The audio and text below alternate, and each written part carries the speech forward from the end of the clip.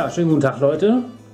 Äh, es ist passiert, ich habe meine erste Kurzwaffe bekommen. Ich habe die gerade vom Tim abgeholt und mache jetzt mal ein kleines Unpacking-Video. Also wie andere Leute hier ihre Spiele auspacken oder irgendwelche Amazon-Bestellungen, packe ich jetzt mal eine neue Knarre aus. Und es ist eine CZ75P09 und äh, so wird die geliefert in so einem schicken Koffer hier.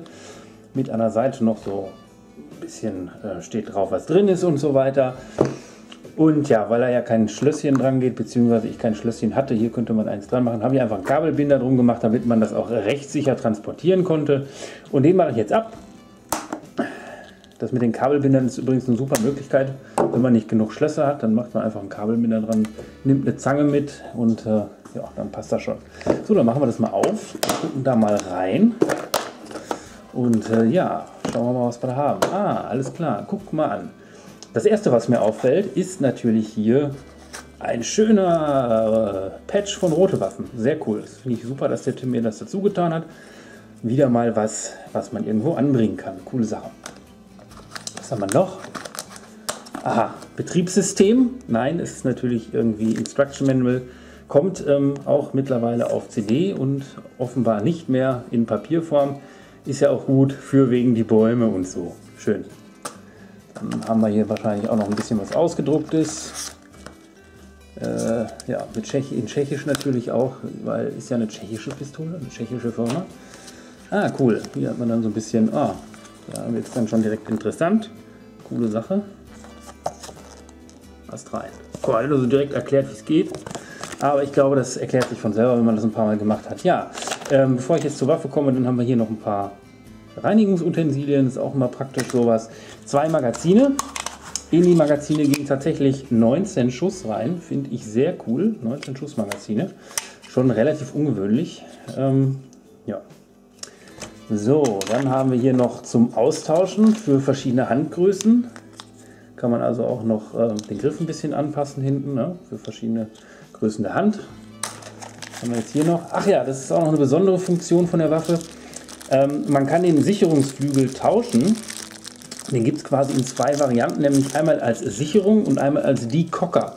Also Decocker heißt, ähm, das ist eine Entspannfunktion. Also wenn man dann den Sicherungsflügel umlegt, dann wird die Waffe nicht gesichert, sondern entspannt sich. Auch eine gute Funktion. Da muss ich mal gucken, wie ich das mache, was ich mir da aussuche. So, jetzt nehme ich das erste Mal die Waffe wirklich in die Hand. Mache natürlich, wie man das macht, eine Sicherheitsüberprüfung. Äh, ist drin, alles klar. Mal trocken abschlagen. Schöner Abzug, gefällt mir schon direkt sehr gut. Ja, coole Sache. So, jetzt habe ich mir die mal ein bisschen angeschaut, mal ein Magazin reingetan, um mal zu gucken, ob alles funktioniert. Funktioniert auch so, soweit alles. Auf jeden Fall sehr coole Waffe. Äh, die Visierung ist ziemlich cool. Man sieht das hier. Ne? Schöne weiße Punkte, kann man super mit zielen, denke ich. Auch bei schlechteren Lichtverhältnissen. Was ja auf vielen Schießständen leider oft so ist, dass die gar nicht ganz so gut beleuchtet sind. Ne? Auf jeden Fall coole Sache. Und äh, im Moment ist tatsächlich nicht der Sicherungsmechanismus verbaut, sondern der Decocker. Ich kann das mal zeigen. Nehmen wir das Magazin raus, dann kann man das leichter durchladen.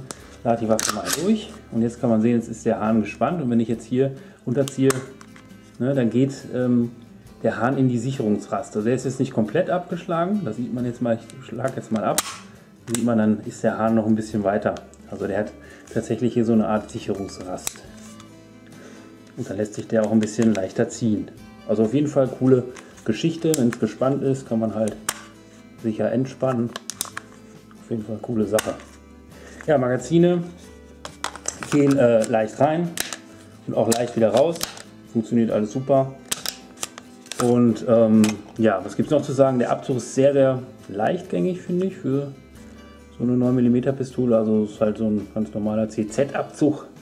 Ähm, auf jeden Fall ziemlich gut und ich bin schon äh, sehr gespannt. Morgen fahre ich damit zum Schießen und dann werde ich da mal ein kleines Video noch drüber machen, über das Schießen und die Waffe noch mal so ein bisschen detaillierter vorstellen.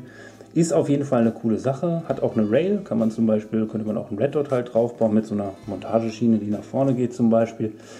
Ähm, und hat gekostet 650 Euro und ich finde für den Preis kann man doch echt nicht meckern. Ist die Polymerpistole CZP09 oder CZ75P09 von LCZ und ähm, ja, bin schon ganz gespannt und auch auf jeden Fall happy.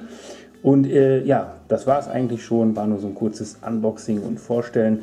Wir sehen uns am Donnerstag. Dann gibt es mehr über das schöne Pistölchen. Ähm, und wir gucken auch mal, wie sie schießt.